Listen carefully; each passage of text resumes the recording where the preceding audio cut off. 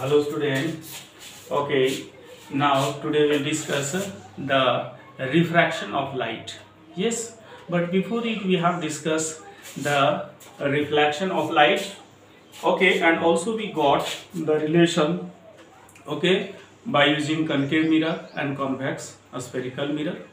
Okay, we have also proved the mirror formula and the relation between F and R but right now in these chapters okay also there is the formation of image but before it we have to know what is the uh, refraction of light. Refraction means the light will pass from one medium to another medium.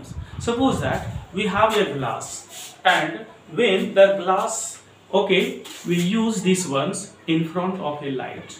You will notice that the light will passes from suppose that air to glass or glass to air or glass to water any medium you can take. You will notice that when the lights will pass okay then the lights will bend and it will depends on the conditions that is the rarer or the denser. Is it clear?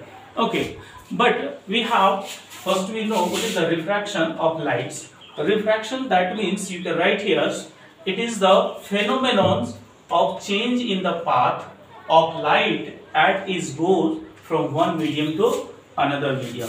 Suppose that I have here, this is the glass slab, okay, glass slab, okay, you can put this is the x, y, x dash and y dash.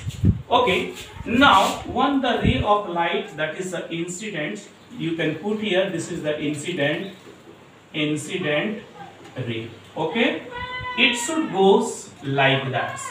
Okay but what will happens due to another mediums it will bend like that from its path. Okay and then when it will be in the same mediums so it will away from this like that. You can give here the normal here also here the normal. So this is called the angle of incidence. Okay you can write here this is the normal normal that is the angle of incidence angle of incident. Here is the r1 here you can write r2 that is called the angle of refraction. That is also called. Okay? This is the i equal to e. That is called the angle of emergent. Angle of emergent. Emergent. Okay. Angle of emergent and this is the air medium. Air medium A that is the glass medium B. Here is also air medium. Air medium A. Now you see that when the light will goes from one medium to another it will deviate it will bend. But again whenever it will be in the same mediums you can see that it will away from this. Okay and you can draw the backward sides. So these two lines will always parallel with each other. Is it clear? So according to the refraction of light this type of okay bending of light you can observe here.